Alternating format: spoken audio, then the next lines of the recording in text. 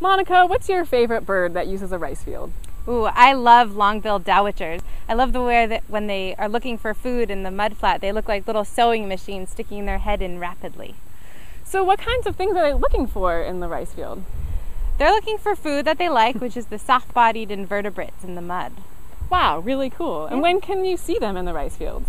They're here during the winter time and they travel a long way to get here. They come all the way from Alaska just to be here in the rice fields. Awesome. My favorite bird is the black tern, and it also travels a very long way to get here in the rice fields. But it actually comes from the south and comes here to breed. Huh, what does it eat?